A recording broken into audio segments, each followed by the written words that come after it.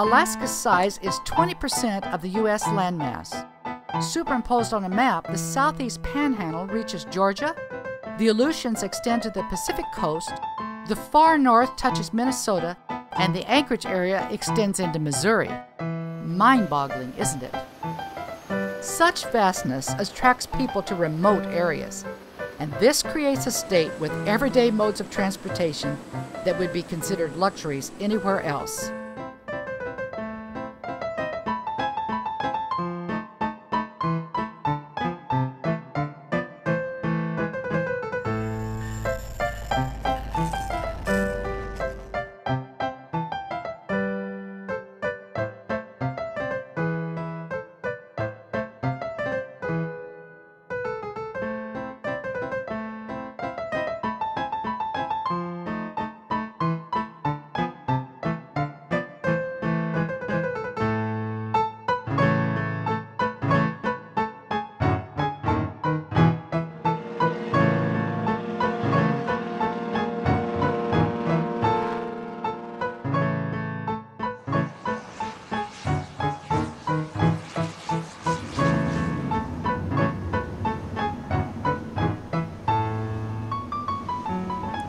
In narrow waters, we are required to bring aboard Alaska Marine pilots, men and women skilled in the technical ins and outs of Alaska's waters.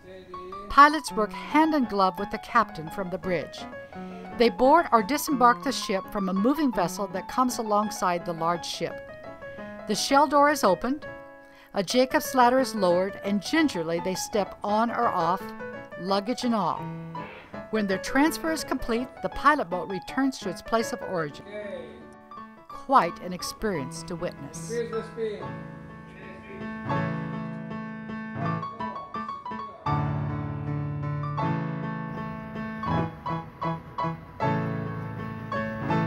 Alaska is never dull. Take your pick. You might even find yourself on a dog sled.